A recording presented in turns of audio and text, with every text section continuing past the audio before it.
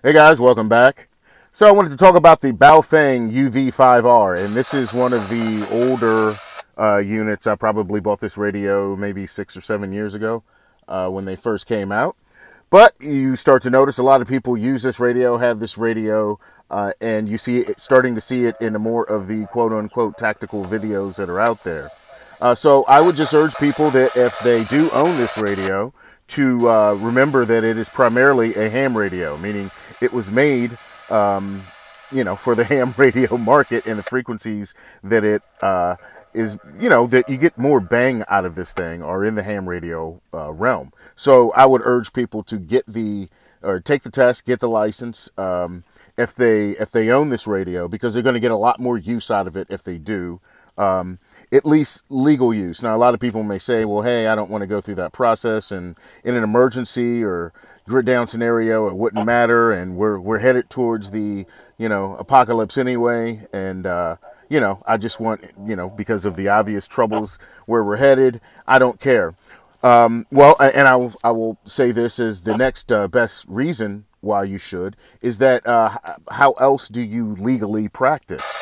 And that's just the best way to put it is that while um, you can listen on any frequency at any time and you can legally buy any radio, here's, uh, uh, you know, a, a, a, true, you know, um, I shouldn't say true because they're both ham radios, but here's a, a, more expensive, you know, actually $400 GPS, you know, ham radio. Um, it, whereas this is, these are, you know, $40 Amazon specials here. Uh, they are still ham radios and um, they're not really legal for most people to use um, at all, um, unless it's in an emergency or you know. So I guess that's why people think you know, well, I'll just get it just in case. And I think that's a good idea. I, I, I urge everyone to buy one anyway, especially at the price, right? $40, buy it anyway. But the main reason isn't just to obey Uncle Sam. I say get it because um, I've had my ham radio license and my father had his and, and, and, and he had an uncle that had his. So that's kind of how it went in my family to where we um, I was urged to get into the hobby uh, from birth, but w- what I can say is is that it's the best opportunity to practice and to gain the skills. Radio is a skill, okay.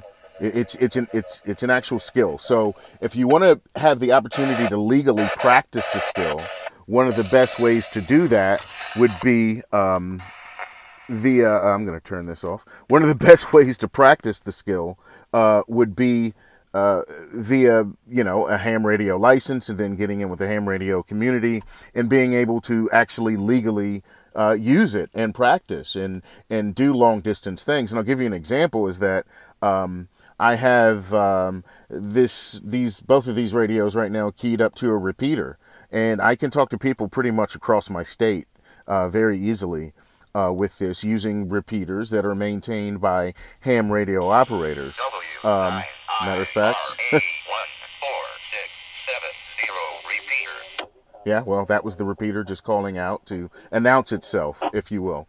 So uh, that's a good example of uh, by using that repeater, which is a ham radio repeater, I can communicate some pretty far distances. Um, you know, reasonably by using even a small handheld unit to where uh, if you treat it just like a uh, role player walkie talkie, well, yeah, sure, you get some, you know, it's still a 5 watt unit or an 8 watt unit that they're selling now. And you can get some decent range simplex, meaning just radio to radio, not radio to repeater.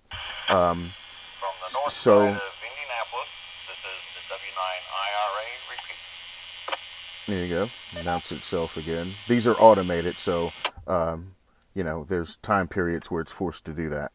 Um, so you know the point of it is is that you get to actually use the unit practice and because of that let's say for example um, there are several counties um, across the state that do emergency preparedness check-in so anybody that's a prepper you know should really you know like that. And, and part of this is is that there needs to be more people in ham radio just to kind of keep it going. Um, but you get an opportunity every week, as many times as you want, because different counties do these, to actually test um, using the radio in a net and delivering traffic. And by that traffic, we mean information, which is the whole reason why you have radio in the first place, is to receive information and deliver information, which is, you know, very, very vital. So the main reason why I say to, if you have the Baofeng, to uh, get a license, uh, your ham radio license, your uh, at least your technician class license, right off the bat, is because you will have an opportunity to use it, you know, legally uh, with a lot of support and people that will help you um, and help you practice and really help you develop your radio skills. Uh, because you know they they're basically just a bunch of nerds that love to do that, and you know uh, what better uh, to, than to have a community like that? So I can imagine that uh, also, uh, you know, for some people it may seem like a, a, a, commitment, or they don't want the government involved, or that they don't think that you know.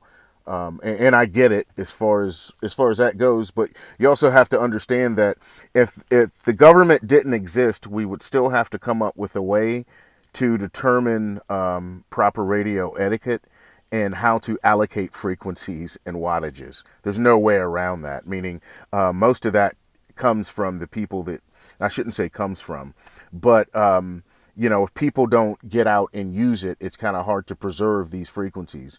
Um, a lot of people are getting into GMRS radio, and GMRS radio was a response to people wanting something more powerful than CB.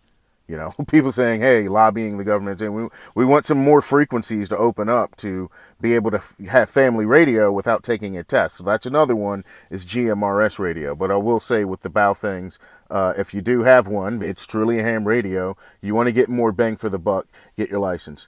All right, guys, have a good one.